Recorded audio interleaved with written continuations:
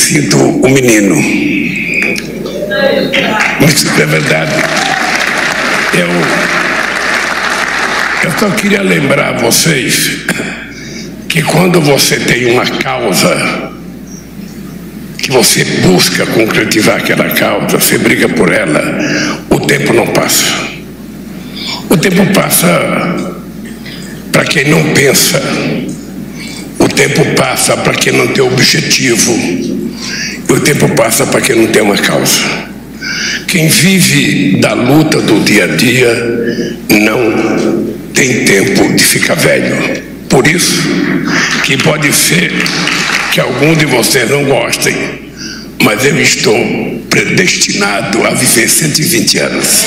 Boa tarde, senhoras e senhores. Hoje é 6 de junho de 2024. São 18 horas e 30 minutos.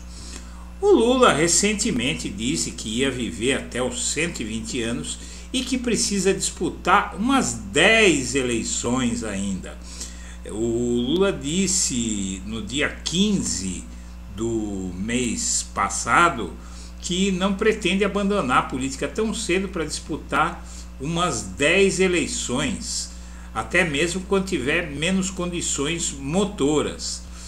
E focando isso, o coach que andou espalhando fake news lá no Rio Grande do Sul e que agora é candidato a prefeito de São Paulo, ele parece confiar tanto no Lula quanto ele mesmo.